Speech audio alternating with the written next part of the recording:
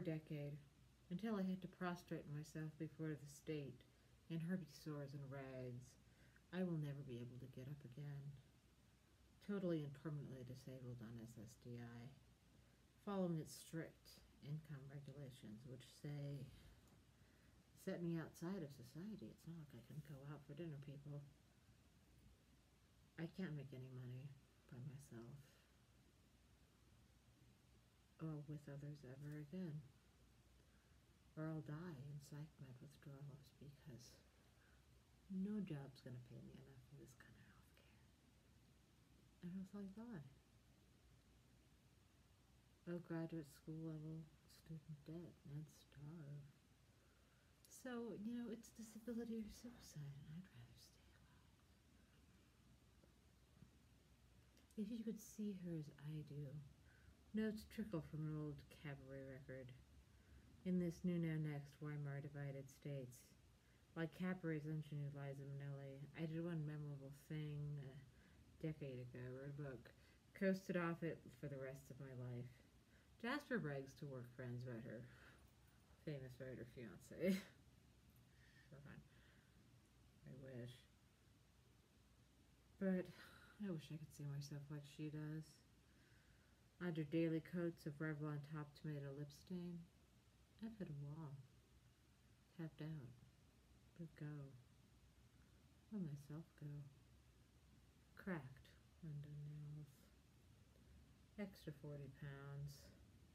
Blue white hair growing long and wild. Winding down from crushed dreams to unreality.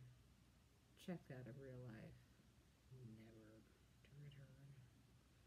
But with Jasper, I don't have to be that Glamazon super crib I think I do.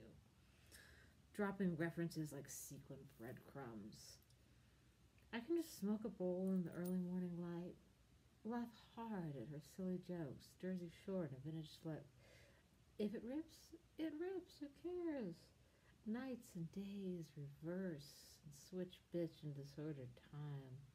Long nights with a glorious happy ending.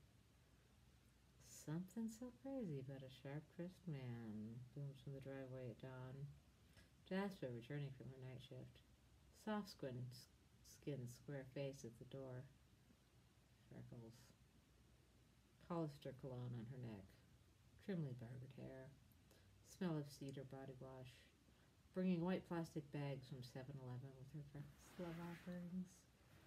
Chorizo breakfast burritos, spiky beef mini tacos, tall red cans of Rockstar Rehab fruit punch.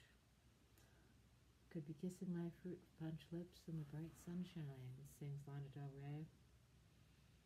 On her first album, I greet Jasper at the door in a black slip and red lipstick, fingers pursed like rabbit paws years of her, her soft fruit punch kisses, her panting lust thrills my butter soft skin. Jasper and I played the long game of survival together, engaged. Not poker with AA chips, instead old maid with both hearts on the table. Trading cards of madness, employability, boundaries, insomnia. Failed past life stack in the discard pile I draw a compatible pair from her calloused hands, read them like tarot. Slowly, learn to trust again. Swallow shame to finally ask her for help. When I must be cared for by another, Jasper gives me mani-pedis, draws hot baths, blow dries my hair when I cannot. The shame of this vulnerability it tastes like sour apple SweeTarts, like that 12 pack of Monster Zero Ultra energy drinks I binge drank as harm reduction for cocaine. Wondering if my heart would finally just stop. Or I'd finally make a creative breakthrough. Either way, I was fine with it. With the PTSD nightmares and menopause, I wake freezing, drenched in sweat. My breakfast of champions on the egg at nightstand. Rockstar Recovery Hydration Energy Drink and a kind blue dream vape pen. You're stronger than me, Jasper said. I was shocked. My biker butch bag had been through hell and back without even the luxury of a handbasket. A multiple attempt suicide survivor who said she could never endure what I have. would have killed herself all over again?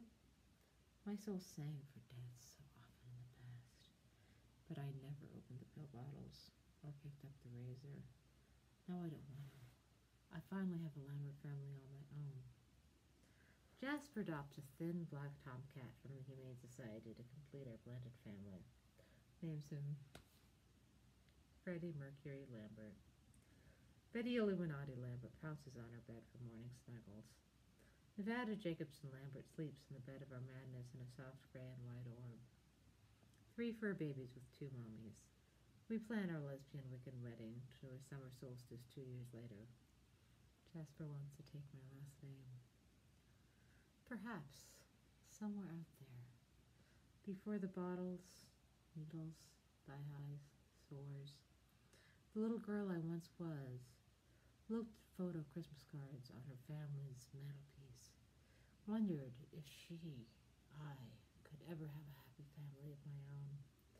Queer and child free, seemed impossible, for what is a family?